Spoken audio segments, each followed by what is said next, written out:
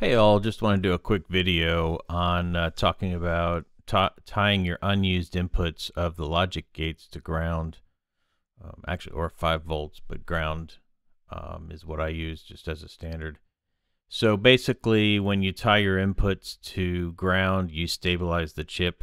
Um, if you leave them ungrounded, you stand a chance of introducing some noise into the circuit and some issues with the uh, you know, uh, with the with the execution, especially at faster speeds. So uh, I haven't really done that on a breadboard. It's not. I mean, it it is needed, but I didn't do it, so I apologize for that. Um, and you'll see me talk about this coming up as we go through uh, creating the uh, PCBs. So um, yeah, just uh, remember to to ground all of your unused inputs. Talk to you later.